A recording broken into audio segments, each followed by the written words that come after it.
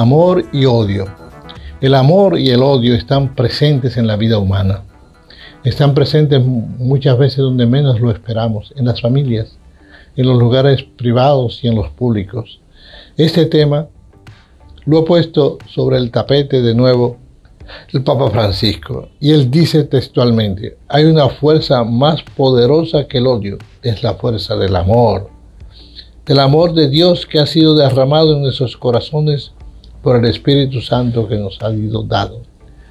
El amor es fuerza, el odio es fuerza.